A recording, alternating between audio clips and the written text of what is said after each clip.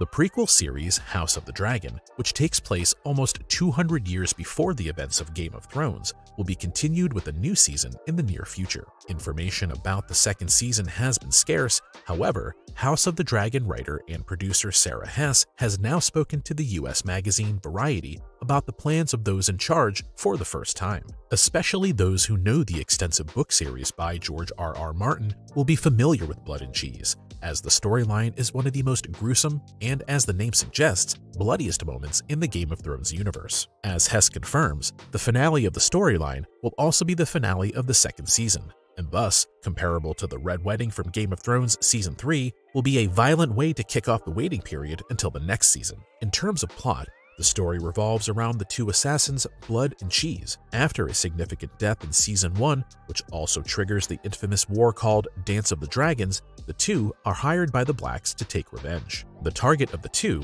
Alicent Hightower's son, who is set to ascend the throne from now on. Since the two are extremely skilled killers, anyone on their list is almost certain to die. Hess stresses that fans of the original will not be disappointed and that they are currently working on the final touches of the season finale. Filming on season 2 of House of the Dragon will begin this March and the premiere is scheduled for 2024 on HBO Max.